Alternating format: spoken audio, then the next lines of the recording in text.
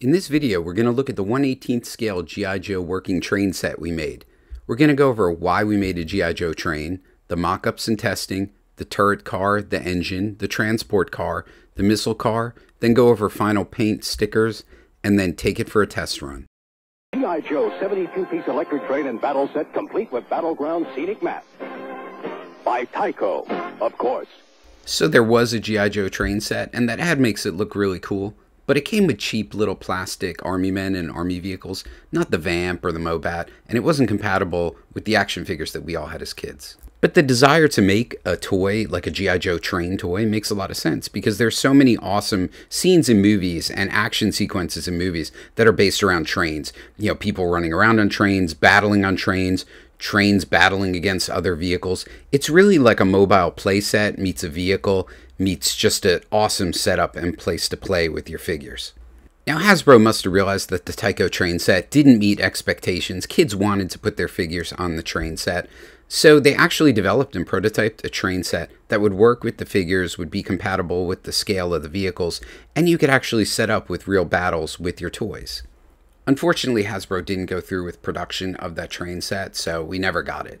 But you can see where they were inspired by these Battle Space Hornsby train sets, probably, with these spotlights, and, you know, helicopter could land on them, and, you know, rocket launchers, and cranes, and all kinds of things that would be fun to play with as a kid, and really take a train to the level where it was an action vehicle. Hasbro also looks like they were really influenced by the Timpo Battlefront Express. This train, especially the engine, looks a lot like the mock-up that they did. And it was made for a larger scale figure, their line of army men and vehicles, and so it had a lot in common with what G.I. Joe would want to do with the train set. So if we were going to make a G.I. Joe train set, we needed a base to start with, and this awesome Lionel set looked like the perfect thing. It was inexpensive, large size, so it would work with the figures. It was remote control, and it was battery powered with simple setup and plastic tracks. And I really want to thank fellow collector Trent for suggesting that I take a look at this set. Once I received the set, I opened it up and started digging into the engine. It looked like pretty simple, the electronics were simple, and luckily there was a lot of empty space in the front of the engine. This made it good because I could put figures in there as drivers. The rest of the cars I started to take apart, and those looked really good and solid. Um, they had different attachments that I could take off, but I could also use them as just a flat platform to then design something and mount on top of that. I started playing around with the idea of like giant cannon on top of it, you know, looking at some of the different features like the blinking lights that the set came with, thinking about how I could use those. I also looked at a lot of historical ref and was thinking about like could the guns move, could they rotate, what features from the original car like this crane thing could I use um, on something that I wanted to add to it to make it more fun and cool to play with. I also started mocking up them, some things with cardboard. You know, I was thinking about these historical armored car trains and how could figures stand on them? How could they walk around on them? Looking at some like the movies where you see like train battles and stuff. People are always walking on the cars, jumping on them. You know, I imagined like grappling hooks going on the side. So wanted lots of places where figures could hold on to or hang off of or be knocked off of, and it would look exciting and be fun to play with. So at this point, um, I had sort of these ideas of what I want to do, and I had the cardboard mock up, but it was time to start drawing and sketching up my ideas and start breaking down what each car would be. The other trains all seem to have different cars with a very different function, like the Hornsby and the G.I. Joe mock up train. And so I figured there'd be the one car that would be where a lot of figures would stand with a turret, then something that would be like a missile car, then a transport car, and then finally the engine that would just be pulling it.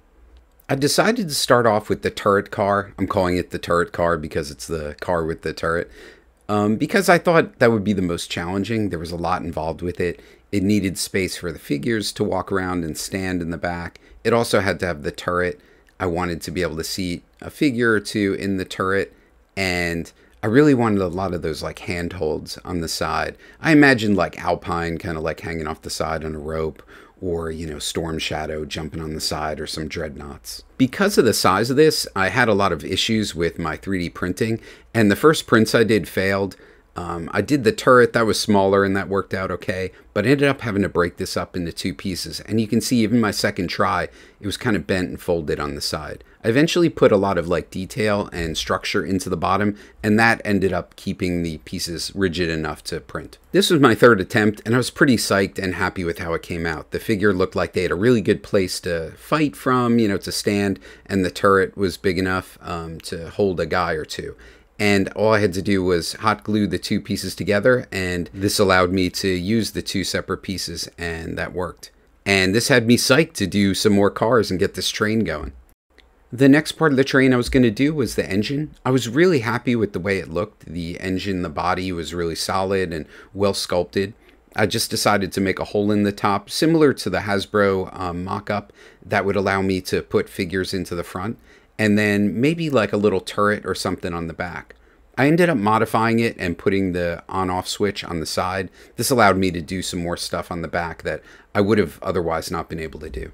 The most important part to me was the seating and, you know, trying to get the positioning of the drivers correct. So I did a few mock-ups of different seats. I definitely wanted there to be two figures in the front sitting side by side. I wanted them to be able to easily slip in through the top so that you know you could retrieve the figures or put them in without any hassle. And so after a couple iterations, I ended up with this sort of slick design that worked really well. It allowed the two drivers in front, gave them a control panel, but also had sort of a platform in the back where the third figure could stand. You'll note that I almost ended up kind of floating the seat above and the platform above so that it had very minimal contact with the floor and so didn't interfere with the rotation of the front wheels or any of the other wires. For the third figure, I wanted something kind of inspired by the Warthog hatches, sort of this like turret kind of thing where they could like kind of look out almost like through these armored windows, but then pop that open and come out of a hatch. And so it was really important to me that there was like more access and other figures in the engine because it's such a big part of the train. I wanted there to be like guys climbing on, trying to open this hatch, you know, maybe Sergeant Slaughter popping out and throwing some dudes around on the roof, but like more interactive points. So this um, this spot where the switch used to be really allowed for that. And then I finished it off with a simple cap that would go over the drivers and seal off the whole cab if you wanted it that way. The transport car was really interesting. I got a cool package from my friend Joe Mahler, and he sent me this amazing RC armadillo and he suggested like here's some parts and some other things you know to help out with your train. And i was like okay this rc armadillo has to be able to drive up onto this train and be taken away and then drive off by itself. That didn't seem too complicated at first. I figured oh i'll just make a ramp and you know it'll drive up the ramp and then you know you'll pull up the ramp. But I wanted it to be able to like rotate all on its own. So I looked at the mechanism that worked with the crane on the original set and it seemed ideal to kind of mount a platform on that. Then it had this kind of ratcheting system where you could rotate it and then I figured that would hold it in place and then you could like lower a ramp. So figured out a mechanism, figured it would all work and so I set it up to try it out. Unfortunately, the armadillo couldn't climb up it. The surface was too slick and the ramp was just too steep. So I'd have to go back to the drawing board. Later in the video, I'll show you how I ended up figuring that out or what I did. But I was excited that the concept worked about the rotation and I could fit an AWE Striker or a Vamp on it. So considered this car mostly done. And now for the last piece in the puzzle, we're doing the missile car. For this, the main inspiration was the mobile missile system. I got away from the idea of this giant kind of unwieldy cannon and thought the missiles would be like a lot more fun, a lot cooler, and feel a lot more scale with the train. This consisted of mainly two parts, the part that would hold the missiles, you know, kind of like its own base section, and then behind that would be like a cab kind of bunker from which the uh, the Joes could operate and launch the missiles part of the inspiration with for this was how everyone jokes about the Wolverine and how CoverGirl is out in the open when she launches her missiles, you know, getting all the the blast from the missiles, you know, right in her face. And so this would make sure that like these Joes were locked down and secure and safe whenever they were operating their missiles. And if you have a keen eye, you might notice that the radar dish on top of this is from the Millennium Falcon. I actually modeled this uh, a few years ago just to replace the one on my vintage Falcon and so I thought it'd be fun to kind of put it here as a little crossover. All the prints came out first pass, so I was really excited. They looked great, and I thought they matched up really well with the turret car. This meant that everything was pretty much done, and so I was ready to bring it all together. With everything mostly done, it was time for a finish, so that meant a little putty work, especially on the turret car where I put two sections together, but they met up pretty well. It also meant paint. So I was trying out a new Krylon, um, the matte Spanish moss, because it's hard to find the other camouflage stuff I normally use, and that looked like a good color, and I love the Krylon paints. They stick really well to plastic, so I definitely recommend those. Fortunately, we had some really warm weather, so the paint went on really well. I was able to paint outside, and everything dried really quick. I had to do some wet sanding on the engine. Um, there were a couple parts where the, the underlying paint came through, but nothing bad there.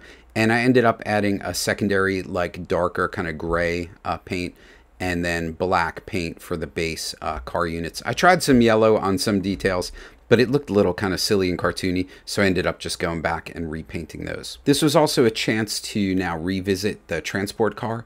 I wanted to add some like tie downs on the side, so I ended up drilling some holes in the side and then mounting some two millimeter rods into that and then putting these little uh, 3D printed plugs on those. That also allowed me to add this rubber band, which gave it some good uh, spring action and kind of automated the retraction of the uh, of the ramp. Also, you'll notice the ramp is longer, so I extended it. This is the final 3D print, and there you can see the kind of plugs on there. At this point, things are coming together. Um, I like the two-tone paint, you know, kind of having that like darker, kind of olive drab, drawing attention to the doors and some of the hatches and things like that. The ramp was functioning and everything was looking really good. I was pretty psyched to finally see the whole train together. At this point, I remembered that flashing light from the original set, and I was like, man, do I want to do this now? But I decided, yeah, I got to do it. So I drilled a hole in the radar and decided to try to mount the LED in there, and it it fit in. You know, I just had to drill a couple times to get the size right. Um, just put the LED in there, did some soldering, and then uh, wired up this two uh, two batter true AA battery pack into the bottom and hot glued it up there. And now you can easily just turn that on and off, and it feels like a real toy to me, like you know something that Hasbro or uh, one of those companies would have had back in the 70s, 80s. You know, like real flashing radar action. So that was pretty cool. The simple solution to the ramp too was uh, I got this anti-slip tape. I just thought of like, hey, I should you know put sandpaper on there, and that made me think of anti-slip tape. So I bought this roll of like one inch tape and it worked out perfectly. I thought it looked really good. It added extra detail. And as you can see here, the armadillo climbs up it no problem. So the combination of the tape and the longer ramp seemed to work out perfectly. And finally, stickers. So what is a G.I. Joe vehicle without stickers? You know, stickers is the last thing you do after you put it together. So I went into my stack of random stickers I have and just grabbed a bunch and spent a bit of time going back and forth between different cars until I got something that felt like this is a real G.I. Joe set. But now the moment of truth. Does the train work? How does it look all together? Um, you know, so let's fire it up, take it for a run. The first time I ran it, I was so excited. It ran smoothly. There wasn't much like rocking and rolling going on. And, you know, I was a little concerned that with that many figures and the armadillo and all the cars and all the extra weight, you know, how would the engine be able to pull it? But it's no problem. It pulls it just fine. It it actually takes 4D batteries, so the engine is really heavy, and I think that like gives it plenty of traction on the roof. Isn't this awesome? Just like hanging out. It's like we're riding on the train with these guys. Just seeing like GI Joe figures, like the three and three quarter figures, like on this train to scale, like ready to fight, is just so exciting. It it really got me like psyched just to think of these guys like on here. And I really wanted to set up some uh, some HISS tanks and like get a battle going and stuff like that. And I definitely will. Definitely gonna see some videos on this coming forward. But um, want to just do some slow motion passes, some detail passes, so you guys could take a look at this and really appreciate you know some of the detail, how the figures all look like they have a place to hang out, and how fun it looks just uh, running around. I love the sound effects on this. Like I didn't even think it came with sound effects, but it's just fun that on the remote you can hit like the bell and the horn and things like that. And here's the true test of the armadillo. So you can see it's, you know, I put two big guys on it. You know, it's Gung Ho and the fridge. You got CoverGirl driving. This was a little scary, the turnaround. Um, you know, I think I had it like right on the edge there, but uh, but it's really cool that it like it fully functions, you know. And then here is coming off of it. So you can see what's great about this, the crane car that I used, is that it's got those kind of stabilizers that you can extend. And I think they actually like help stabilize it. So when you rotate it here, you know, it's perpendicular to the track. And then you put the ramp down. And those stabilizers, I think, help a little bit. And the ramp, too, gives a little bit of support. And that rubber band kind of keeps it in tension. So, um, you know, that's probably helpful as well.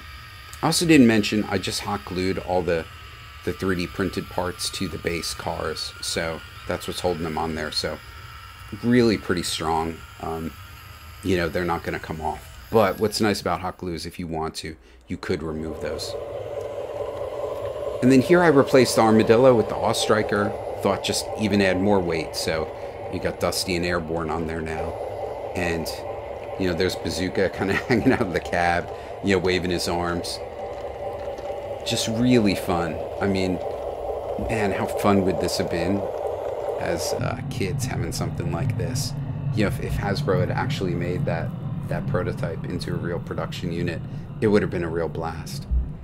And so this is really neat, just watching these guys go around the track, um, thinking about all the adventures. I definitely am going to do some movies, and I've got some ideas for like what I want to do. Um, yeah, and here's just just all the cars lined up. You can see each one detailed. And what's fantastic about this is like I could always go and make another car. I did buy two sets, of course, you know, why buy one set when you could buy two? So, you know, I could add another car with like with a crane or even even another like transport car. So you could carry like two armadillos, which would be pretty awesome. Or, you know, like Muller Joe suggested like a Skyhawk like landing pad would be awesome. Um, you know, just just things to make this more and more fun. And two, maybe a Cobra version of the train. You know, wouldn't Cobra want a train too? Well, I guess that's it. Um, you know, this project is done. What a bear of a project it's been. Four cars is like four separate vehicle projects, so it's taken a while, but man, was it worth it. I'm loving watching this thing go around. I hope you like how it came out. I hope you enjoyed the video. Hopefully we'll see you in some future videos where we put this thing into battle. Thanks for watching, and Yo Joe.